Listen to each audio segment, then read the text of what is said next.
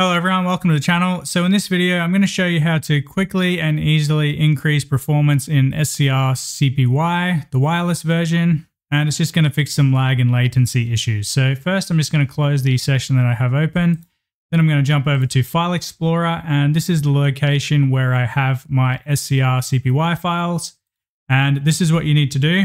Obviously, you need to make sure you know how to set up the wireless version. There's another video for that. I'll leave a link in the description. But I'm assuming you know how to do that. And this is what you need to do. So right click, go to new, open a new text document.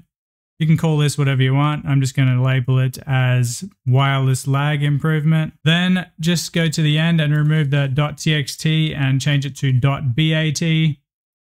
Then accept the change. This will turn it into a batch file, which we are going to edit with some special commands. So once you've created that file, just click on it, then right click and go edit.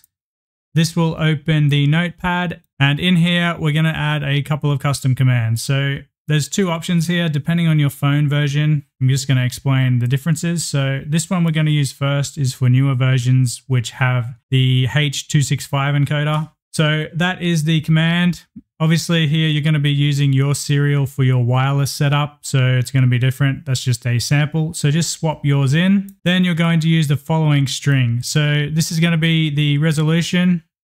That there is the resolution. This is the new video codec.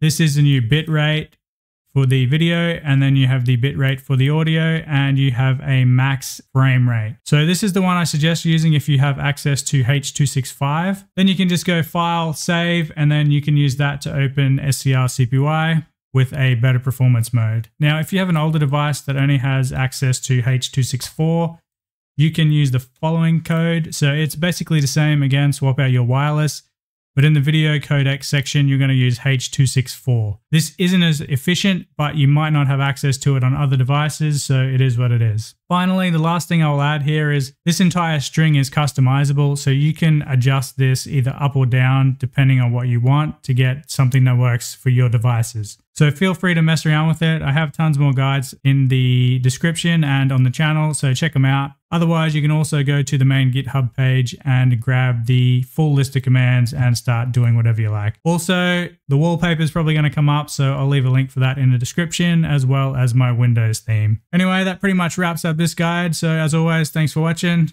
Don't forget to like and subscribe, and I'll see you in another video. Cheers, everyone.